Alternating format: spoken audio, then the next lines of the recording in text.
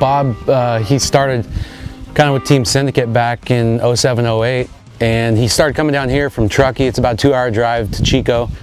What I'd like to do is try to make it like a two-day trip, come down ski, spend a night ski, a second day and then head home. It's a great place to ski here. In fact, I'm pretty sure in two years I've been skiing here, I've never seen it blown out.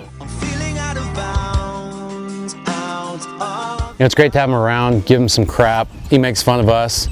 And it, it was great because it gave me a chance to ski with not only a, a childhood idol, but the amount of knowledge this dude has in his head and the amount of experience he has is unrivaled. We're constantly trying to tweak things to try to get the max out of it to, to make it better. There's no such thing as a perfect ski right now. That's what we're in search of, the perfect ski.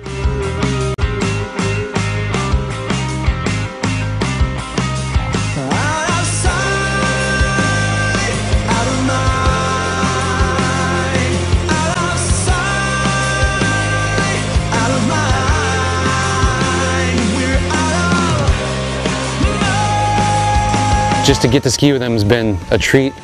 Just a real cool guy to hang out with and stoked to, uh, to have him be a part of our training here.